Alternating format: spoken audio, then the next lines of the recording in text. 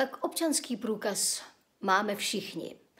Ale jakmile vláda vyžaduje jakýkoliv extra průkaz pro to, abyste se mohli volně pohybovat po své vlastní zemi, tak to je potom tady něco hodně špatně, protože taková doba, taková doba už tady byla.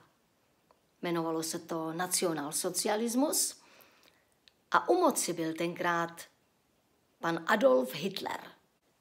Kam jsme se to až dostali s tou naší rádoby demokracií? Jak daleko chtějí vlády tohoto světa zajít? Budou nás tady honit po ulicích, jako to už tady bylo? Dá se tomu vůbec ještě nějak zabránit? Tahle nová diktatura opravdu nechce znát žádné meze a to po celém světě. Doufám, že sledujete dění v Austrálii, v Americe a v Kanadě, abyste si vůbec dovedli představit, co na nás hrozného čeká. Já vás tedy nechci strašit, to určitě Ale ne. jenom chci, abyste si uvědomili, že ty dobré časy už jsou bohužel za námi.